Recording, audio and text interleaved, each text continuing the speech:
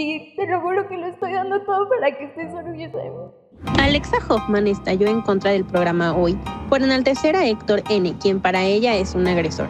Pero este enojo por parte de Alexa surge porque Héctor decide sorprender a su hija Daniela Parra en el reality Las Estrellas Bailan en hoy con un ramo de flores y una dedicatoria.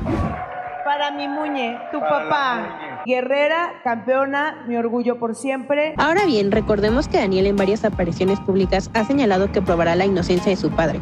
Además, que lo ha apoyado desde que fue denunciado por tocamientos. Estás viendo y qué gacho que me hiciste llorar en televisión nacional, pero te amo mucho, pa. Y ahora con este gesto que le envió su padre, las lágrimas se hicieron presentes en el set, siendo un momento muy emotivo también para los conductores y el jurado.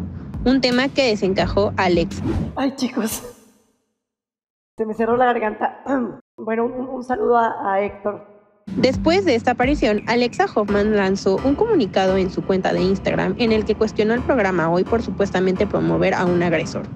Estoy impresionada con los valores de este programa, que maneja falsamente valores familiares, promoviendo y resaltando a un delincuente hoy confirmado y sentenciado por las autoridades. Nunca voy a entender cómo las y los conductores y productoras se conmueven al mencionar su nombre. Ellas son mamás y deseo de corazón que sus hijas nunca vivan lo que yo viví, y mucho menos que otras personas apoyen a su agresor y cómplices como ustedes lo hacen. Exijo por mí y en nombre de todas las víctimas que respeten.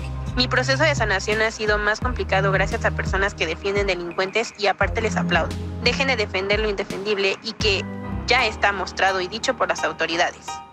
Por otro lado, espero que la cómplice que se atrevió a mentir frente a un juez sabiendo la verdad y negándola pueda dormir tranquila después de todo lo que ha hecho. La verdad siempre sale a la luz y se les va a caer la cara de vergüenza al no poder revertir todo el daño que han hecho, concluyó.